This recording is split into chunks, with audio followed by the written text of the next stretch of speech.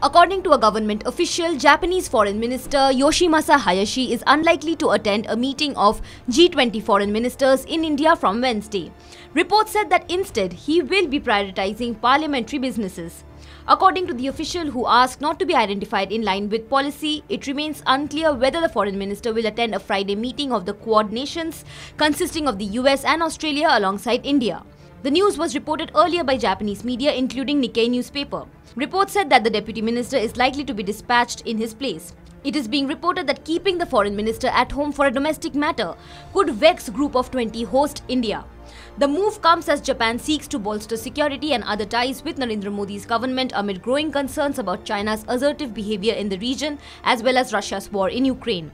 The news ignited criticism from lawmakers and members of the public on social media who said that it was a lost opportunity to show leadership as Japan prepares to host the Group of Seven summit in May. Modi made a trip to Tokyo in September to attend the state funeral of former Prime Minister Shinzo Abe and held talks with the current Premier Fumio Kishida. According to reports, improving ties with India has been a priority for the Kishida government as it seeks partners beyond its sole treaty ally, the US, to counter security threats posed by the likes of China. The Quad is a prominent format for cooperation.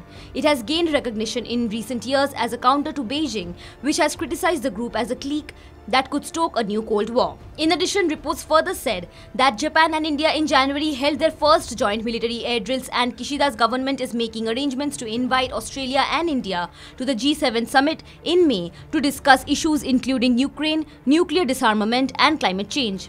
Japan's lower house of parliament is likely to pass the budget later on Tuesday and hand it over for discussion in the upper house. All members of the cabinet are customarily present for the initial sessions of the budget committee, which are planned for Wednesday and Thursday.